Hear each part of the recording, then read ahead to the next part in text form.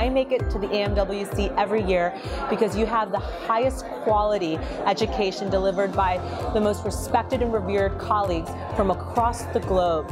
Thierry, being the scientific head, does a great job at putting together a program that really captures KOLs from all over the world to deliver the highest level of education so that all of us can take something away and apply something useful in, back in our respective countries. I highly recommend AMWC to anyone and it's no surprise that today it's the largest aesthetic meeting worldwide.